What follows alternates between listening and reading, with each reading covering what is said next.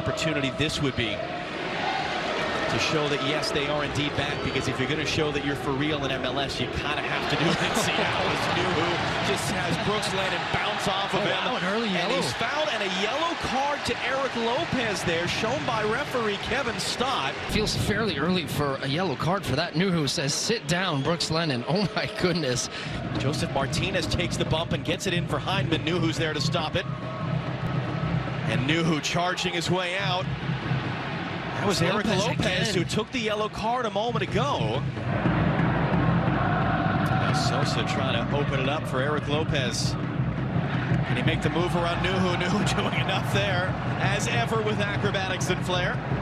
Especially in the middle part of the game. Lopez battling with Nouhou now. Nouhou using his strength there, using his guile, using his smarts to just erase that opportunity completely. Lennon's ball in. Cleveland staying at home. A bouncer. It's cleared off the line. There was a foul in there anyway. Robinson was up for it over the back of Rowe. Nouhou nodded away. The whistle had already gone. Nodded away with uh, acrobatics as well.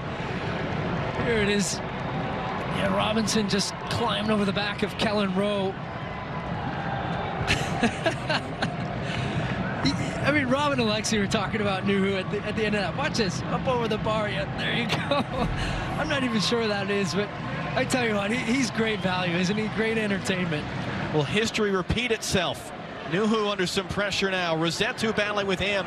Nouhou trying to turn the corner. Still shoving and moving his way through. Advantage being played. Here comes Nouhou trying to play inside. And it's going to be pulled back by Kevin Stott for that foul. Yellow card shown as well.